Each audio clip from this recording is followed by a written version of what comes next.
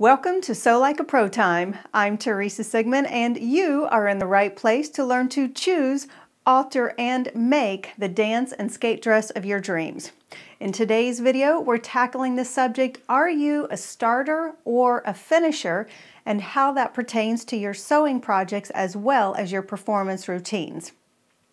Now, a classic starter tends to have great ideas, they're easily inspired about a project, and they'll start quite often many of them at a time and then as the project fades their interest fades as well so that it becomes difficult if not impossible to actually finish it without help.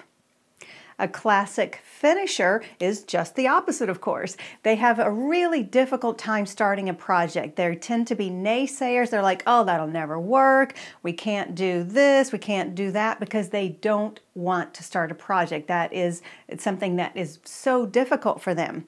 Once they are in the middle of the project or let's say they're at work, they're brought into the project midstream, they're fantastic. They can knock out that to-do list, be highly efficient, get a lot done, bam, wrap everything up, the project is a success.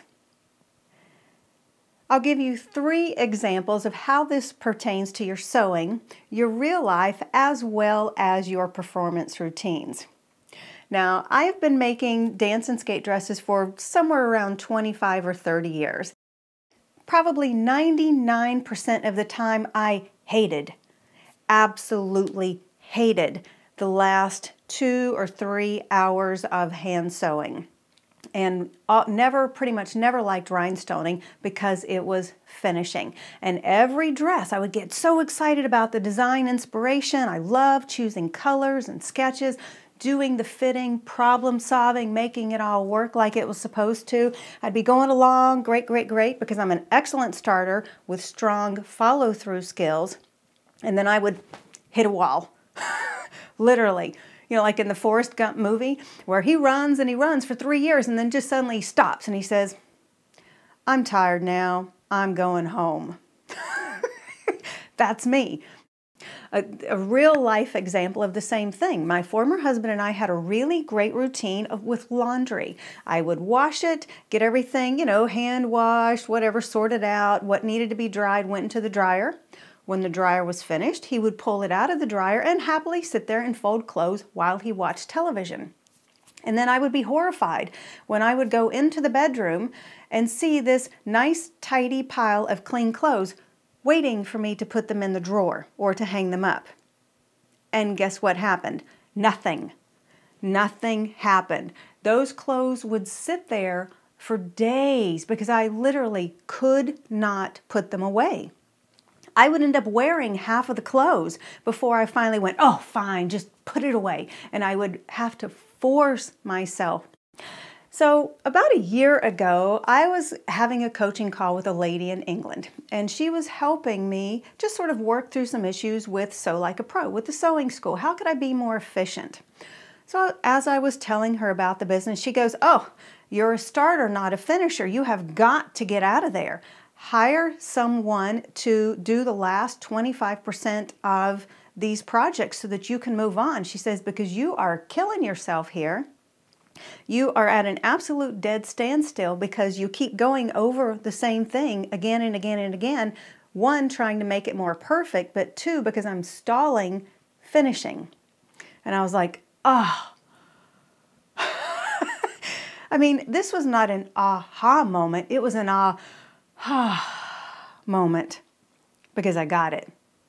As soon as she told me that, I had never heard this concept before. As soon as she told me that, it explained so much about my tendencies and immediately clarified my strengths and my weaknesses.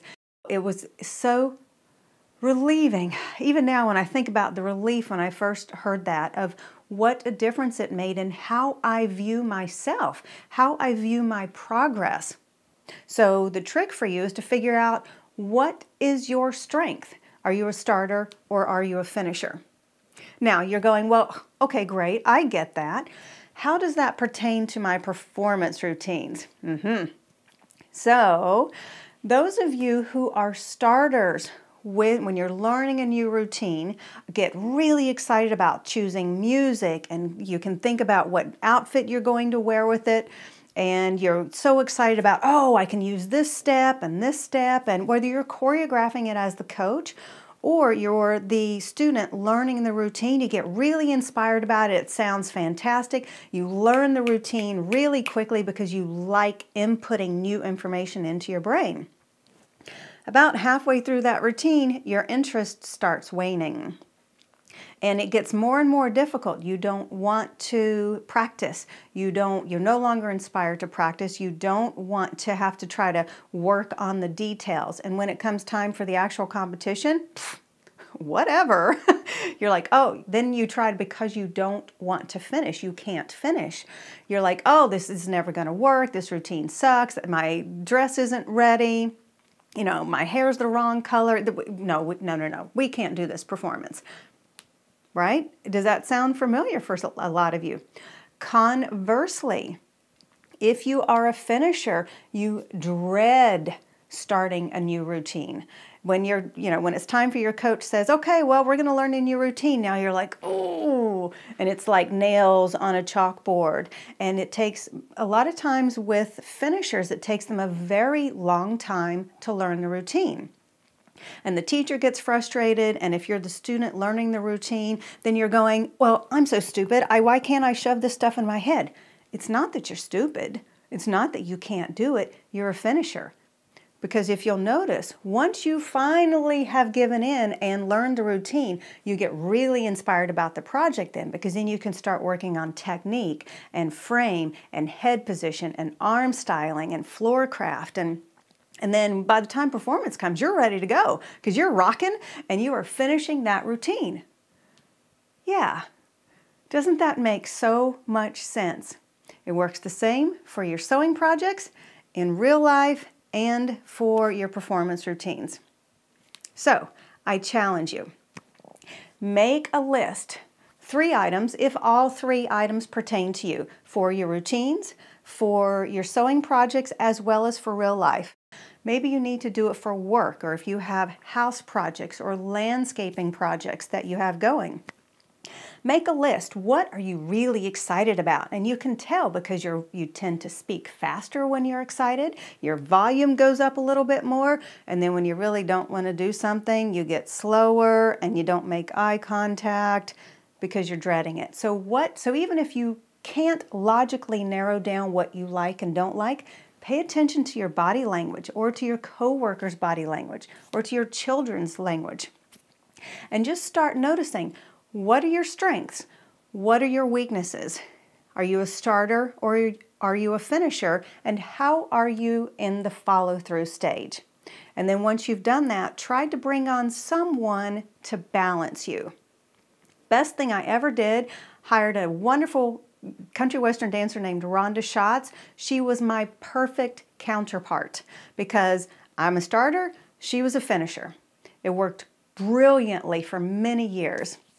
And I would start, do the fitting, hand it to her to do the sewing. She would give it back to me. I would tweak, do design lines, give it back to her. She'd finish it humming and, you know, she'd sit at the sewing machine just humming away. And I was just cringing, thinking about doing what she was enjoying.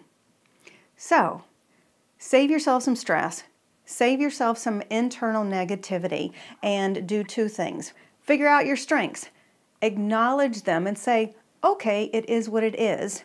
And if you can bring on help, be it for work or you know get a spouse or a child or you know a, anybody to help you, great. And if you can't say, all right, well this is this is the way it is and this is what I'm good at. This is where I can improve a little bit. And I think you'll find that it makes all the difference in the world for you. So, if you have found value in this, please tell all your dancing, skating, sewing friends. Don't stress alone.